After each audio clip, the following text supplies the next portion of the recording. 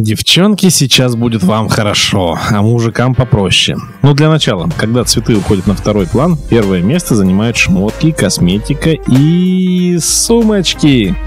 Я боюсь, но придется и о стрингах, и о лифах сказания с видениями придумывать, но вот сумки...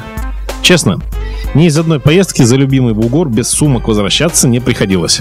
Да это и правильно. Если у супруги каждый год не появляется моднячая авоська, то жизни-то и нет. И денег нет, если это делать в городских бутиках. Предлагаемый вариант столь же крут, но и дешев. Вот так мы распределили полномочия. То, что гламурно, это СТС и куда подальше.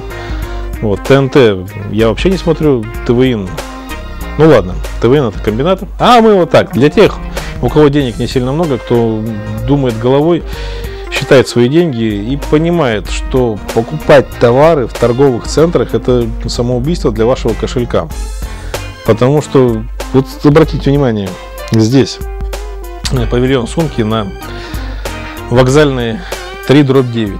Все то же самое, только в некоторых случаях в 5-6 раз дешевле. То есть там 5-6 тысяч рублей, здесь 1000-1100. Потому что там платится за аренду, там платится за большое желание быстро заработать. А здесь, здесь нормальный деловой подход к бизнесу. Кстати, часть гонорара пришлось взять взаимозачетом. И без торга. Да потому что кожаная сумка за 1300 рублей вызвала довольное похрюкивание. При этом достаточное количество понтов от навороченной сумки, без которых женской жизни нет, было обеспечено. Крепитесь, мужики. Женскую логику не исправить и не переделать. Это бесполезно. То есть вы будете каждый год попадать на сумочку. Это нормальное явление. Ведь девочка должна быть всегда модной. А сумочка это то же самое, что и помада. Это не важно, что она иногда стоит 10, 15, может быть 20 тысяч рублей. Ну надо так, надо. Ладно, маленький совет. Сюда приехать. Показать выбор сумок здесь. Они, по крайней мере, не таких денег стоят. И уж раз вам судьба попадать на бабки, то лучше попадать на денежки меньшие.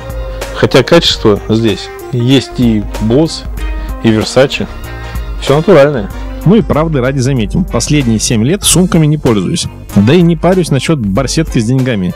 Да потому что денег нет. Одни кредиты, и тырить с машины, кроме квитанций о их оплате, как и судебных приказов, и писем судебных приставов нечего. Но феньки для мужиков порадовали. И как-то тупо захотелось бабла. Pure Laser. Чистая натуральная кожа. У меня сумочков нету.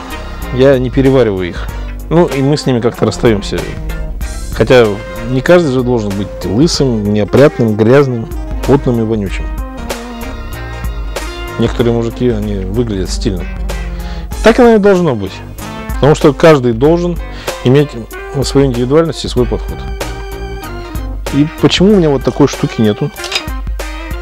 И почему мои сотовые телефоны находятся в очень убитом и плачевном состоянии? Казалось бы, можно было бы все подобрать прекрасный, замечательный вариант, который тоже бы неплохо смотрелся. И это тоже стиль настоящего мужика которым, учитывая экономические реалии сегодняшнего дня, могут похвастаться немногие. Ну что ж, а давайте тогда позаботимся о детях, и, быть может, им повезет больше. Как-то в жизни моей такое было, а потом закончилось. Дело в том, что мы начали свое существование в 80-м году прошлого века. Каждый год мне покупали новые ранцы. А когда мы поступили в институт в 90-м году, мода на дипломаты пропала. И следующие пять лет я ходил с поликлиновыми пакетами. Конечно, я был всегда разгильдей. И если честно, то на последних курсах института у меня в пакетике была всего одна тетрадка. Я просто начинал с одной стороны физику, там какая физика, там уже совсем другие предметы были. С другой стороны, ну, короче, я так ее распределял, ну, в итоге, в итоге получилась телезвезда, которая вам сегодня говорит. Папа и мама, Учебный сезон 2011-2012 закончился, но нет необходимости вам потом ближе к сентябрю попадать на денежки. Да, сегодня и сейчас. Со скидкой можно купить замечательные ранцы. И вот один я нашел.